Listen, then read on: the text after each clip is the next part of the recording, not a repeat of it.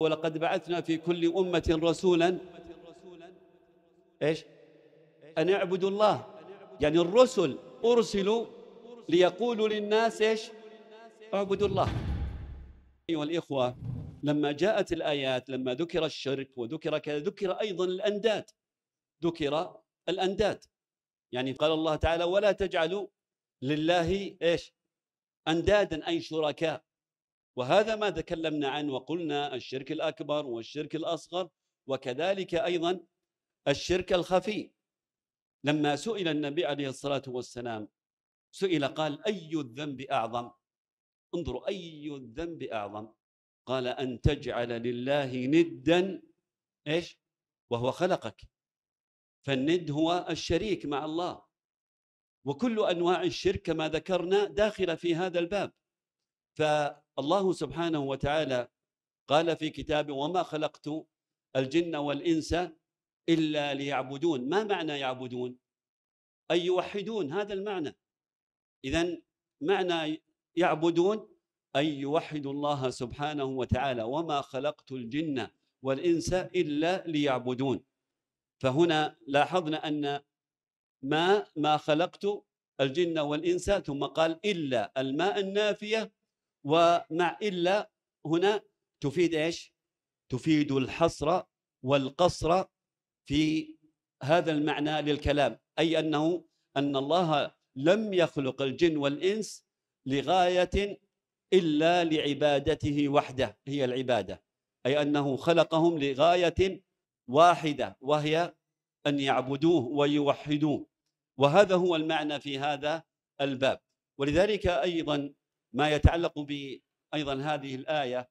تأتي آية أخرى عندما قال الله تعالى ولقد بعثنا في كل أمة رسولا إيش؟ أن يعبدوا الله.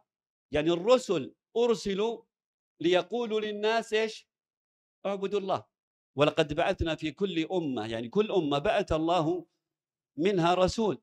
ولقد بعثنا في كل أمة رسولا قال أن اعبدوا الله فقط واجتنبوا الطاغوت أمرهم بالعبادة واجتناب الطاغوت وهكذا. دائما إذا دعوت وأيضا أردت أن تدعو يجب عليك أن تتنبه إلى هذا الملحظ المهم أن تدعو إلى التوحيد وأن تحذر من الشرك.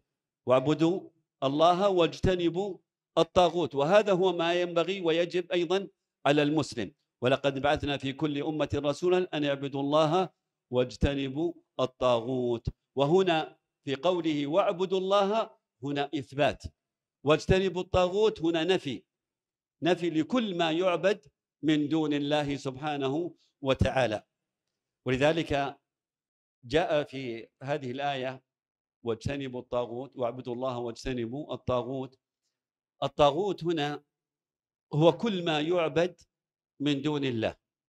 الطاغوت هو كل ما يعبد من دون الله. وقد جاء أيضا عند أهل العلم كلام أيضا فيما يتعلق بمعنى الطاغوت.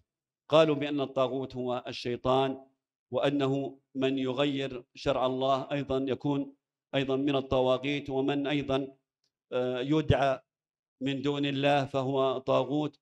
والمعنى العام هو كل ما جاوز به العبد حده من متبوع. يعني جاوز الحد وصرف عبادة هي لله فصرفها لهذا المعبود فيعبد فيكون بذلك ما جاء في معنى هذه الآية واجتنبوا الطاغوت يعني عبادة أولئك الذين يعني صرفت لهم العبادة التي يجب أن توجه لله سبحانه وتعالى فصرفت لهم.